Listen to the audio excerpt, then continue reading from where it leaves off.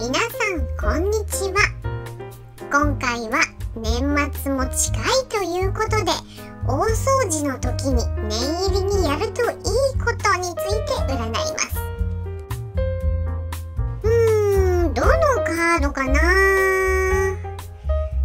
今回は目線でいこう。あれだな。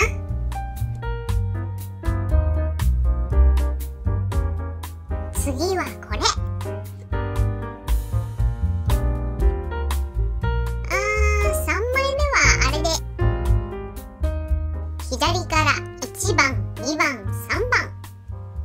びましたか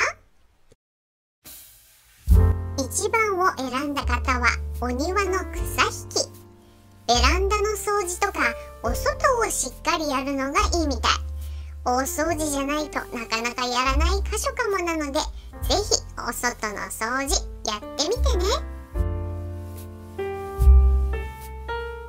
2番を選んだ方は照明の掃除を念入りにやってみて。天井についてたりすると大掃除じゃないとなかなか手をつけないんじゃないかな。いつもより明るくなって気持ちも明るくなるかもよ。ぜひやってみてね。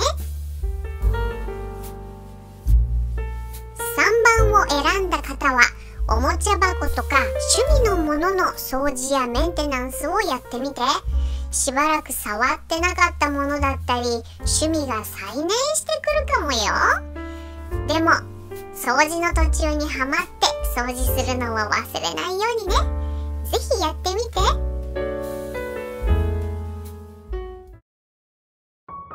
さてどうだったかな？私も毛づくろい頑張るよ。年末ってあっという間に来るよね。